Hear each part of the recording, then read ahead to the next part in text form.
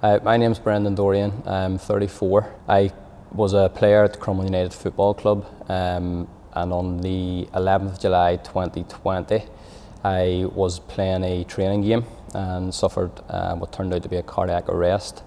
I collapsed during during the match. Um, some of my teammates done CPR, and there was a defib at the club which they had to use.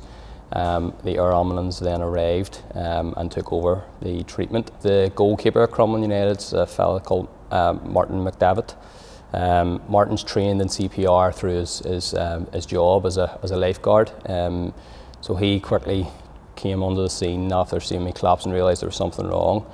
Martin then, at the end of the first round of CPR, then shocked me with the defib. For the first five, six weeks while I was at hospital. Um, they'd done a lot of tests and scans and they couldn't really put, put their finger on what caused it um, until I had a CT scan um, and they realised it was a, a, very, very rare condition called ALCAPA. Um, basically, one of the coronary arteries was in the wrong place.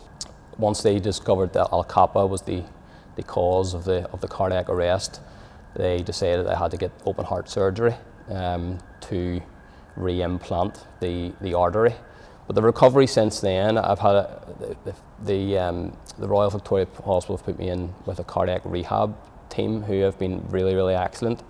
So they've kind of monitored my heart rates and, and brought me down and you know started me off doing a couple of late walks.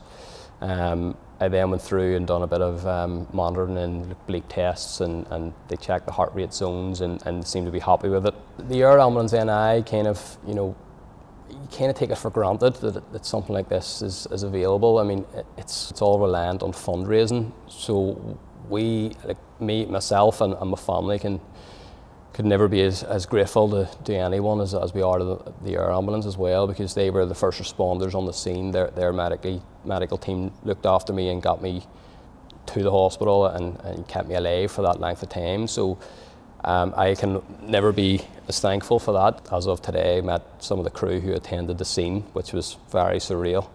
Um, I, you can't put into words how grateful you are and how do you thank someone for saving your life, but um, all I can say is thank you very much to our ambulance and, and anyone who was there and anyone who's helped in, in, the, in the recovery period as well.